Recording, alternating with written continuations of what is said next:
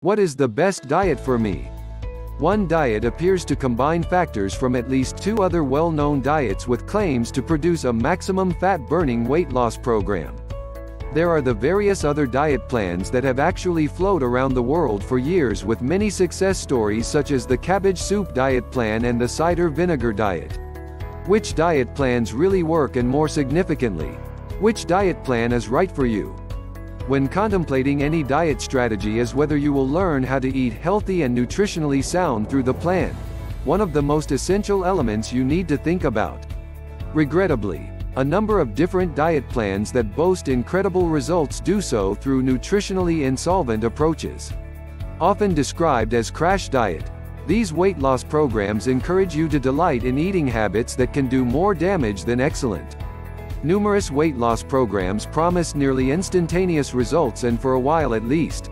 It seems as though your weight loss dreams might have finally come real through the existence of this type of diet plan you realize there is no possible way you can remain on this diet for the rest of your life.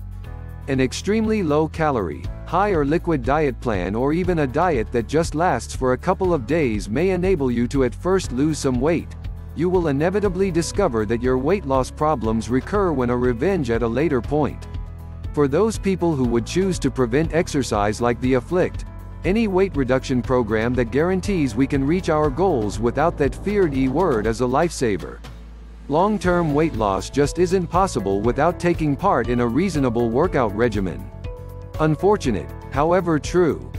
When considering taking part in any weight loss program or diet plan, always ask yourself the following concerns. 1. Will I learn to take part in a healthy, nutritionally sound eating plan through this diet plan? 2. Is this a diet I can stick to long term? And 3. Does this diet combine sensible consuming with moderate exercise? When you find a diet or weight reduction program that meets all of these conditions, you know that you have actually discovered the right diet plan for you. As with any diet, it's constantly a great concept to contact your physician prior to taking part in any weight loss program.